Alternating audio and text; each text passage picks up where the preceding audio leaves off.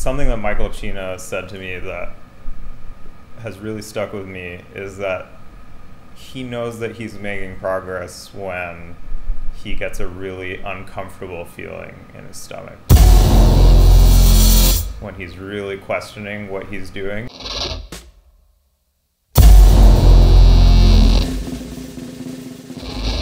Is usually the situation in which he's discovering something new.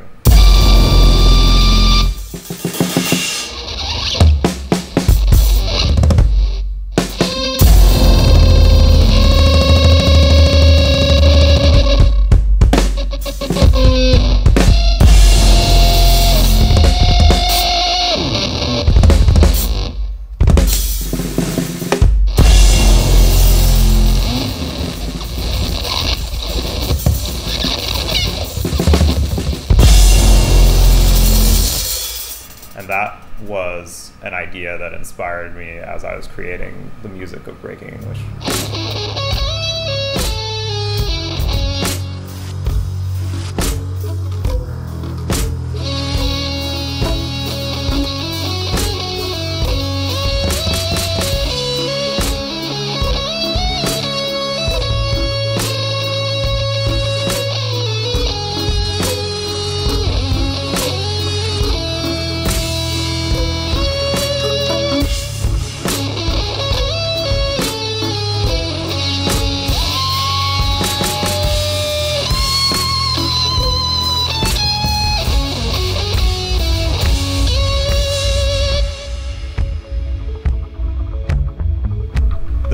Of breaking English is twofold.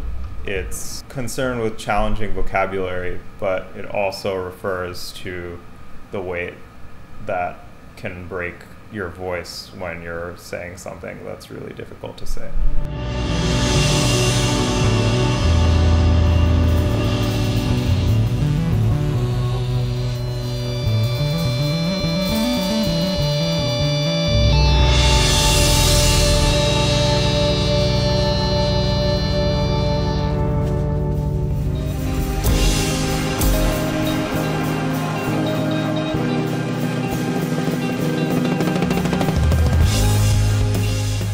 Music represents extreme contrasts between intimacy and otherworldliness, beauty and devastation, an interest in real time discovery of improvisation with meticulous sonic detail.